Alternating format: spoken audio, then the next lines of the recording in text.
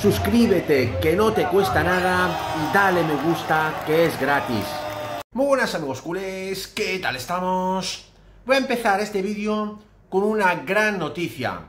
El Barça comunica a Abde que no escucha ofertas por él. Parece que me han escuchado ayer. Vamos a por ello. Pues bien, su agente Javier Garrido se reunió este miércoles con Deco. El club azulgrana cuenta con el marroquí y el cuerpo técnico cree que puede ser importante. Vamos, importante no. Yo diría que va a ser importantísimo.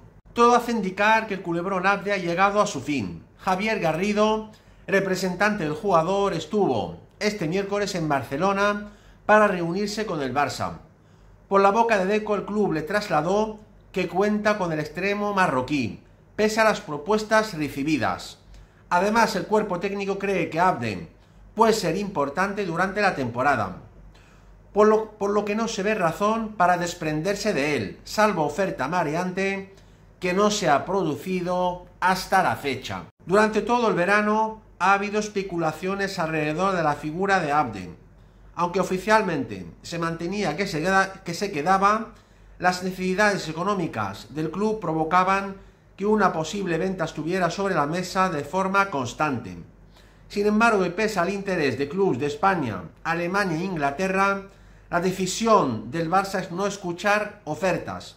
En parte también porque, lo, porque las que han llegado no iban a suponer ningún gran ahorro en términos del fair play. Referente a esta información, tampoco es cierta al 100%.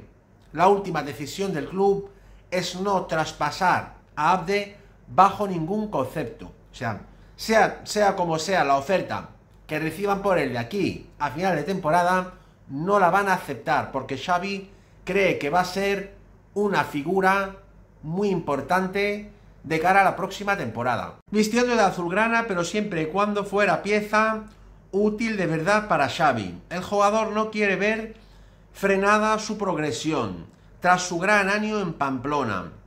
De ahí a su prioridad no sea otra que la de seguir acumulando minutos. Por ahora, en las dos primeras jornadas de la liga, Abde ha entrado a la segunda mitad en ambos envites. De hecho, pues en estos dos partidos que ha jugado Abde, hemos notado claramente que ha revolucionado los dos partidos, sobre todo el último contra el Cádiz, en mi opinión, ha sido clave en la victoria del Barcelona, desestabilizando claramente ese autobús que han puesto el equipo andaluz.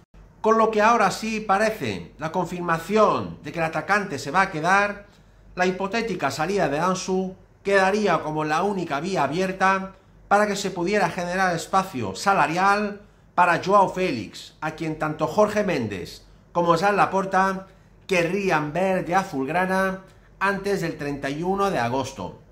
Obviamente, y todo indica, que el que va a salir en este caso va a ser Ansu Fati.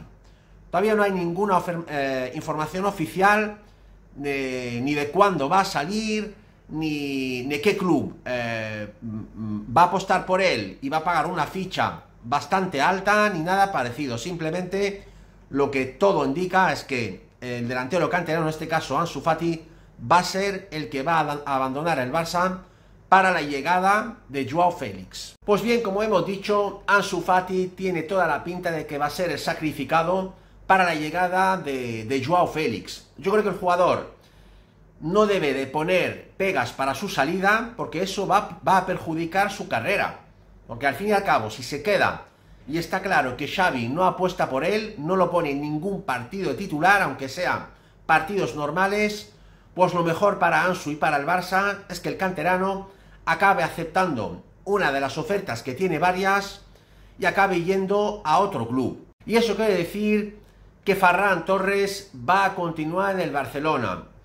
Su gran inicio de temporada ha hecho cambiar de opinión a Xavi y sobre todo al club, a y han decidido finalmente que el delantero valenciano continúe al menos una temporada más en el Barcelona. Yo sinceramente a Ferran este año lo veo bastante bien y bueno, si no, si no puede salir en este caso, pues al menos está demostrando que, que el chaval lo está currando muchísimo y de hecho es el máximo goleador en este inicio eh, del Barça.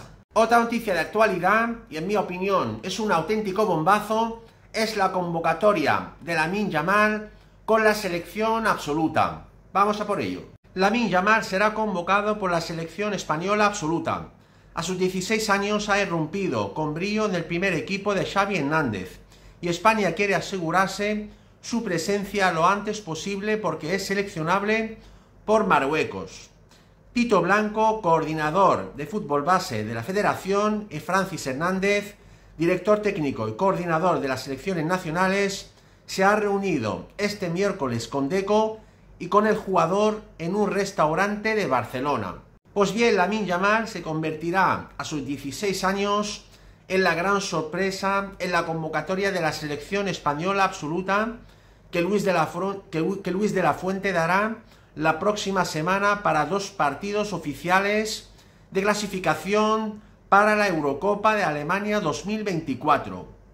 Georgia, España del 8 de septiembre, que se jugará a las 6 de la tarde hora nacional, y España, Chipre, el 12 de septiembre, que se jugará a las 9 menos cuarto hora nacional. Eso no quiere decir que la Yamal va a jugar al 100% con la selección española del futuro porque hay una nueva ley que sacó hace poco la FIFA que, que cualquier jugador que tiene menos de 21 años debe disputar como mínimo tres partidos con la selección. Es decir, que un jugador que tenga doble nacionalidad, o por ejemplo su padre de un país y su madre de otra, y prefiere primero jugar con el país de su padre, en este caso no lo es, pero es un ejemplo, por ejemplo, un, jugador que su padre, por ejemplo, es de aquí de España y su madre es de Holanda.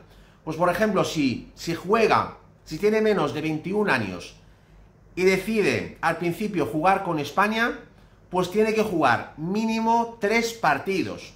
Si juega, por ejemplo, uno o dos y cambia de opinión, pues puede jugar con la selección holandesa, en este caso, el país de su madre, sin ningún problema. Y eso lo hemos visto en el caso de Munir que tiene ascendencia marroquí, ha preferido jugar con España al principio, jugó solo un partido, un, partido o dos, pero luego cambió de opinión porque España ya tampoco le llamó más y pudo jugar con Marruecos. Así que en este caso, para que Lamin Yamal juegue seguro con España en el futuro, debe disputar mínimo tres partidos con la selección absoluta. Vamos con el temazo principal. Ahora sí, ya es oficial se confirma un auténtico bombazo para nuestro querido Barcelona.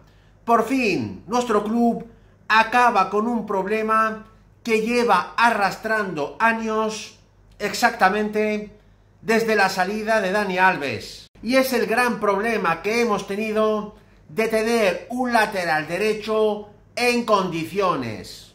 Joao Cancelo aterrizará mañana en Barcelona para firmar por nuestro querido Barça. El tremendo lateral derecho portugués jugará un año cedido en el Barcelona exactamente hasta el verano del 2024 con una opción de compra prácticamente obligatoria de 30 millones de euros. Y de esta manera vamos a tener por fin un equipo que pueda competir en la Champions League. Esta ha sido mi grandísima noticia de hoy, amigos culés. No os olvidéis suscribirse a mi canal, que no os cuesta nada, pulsar un like como siempre y dejarme comentarios para cambiar opiniones. Muchas gracias, Forza Barça por siempre, vamos a por todas y nos vemos muy pronto en mi próximo vídeo. ¡Vamos!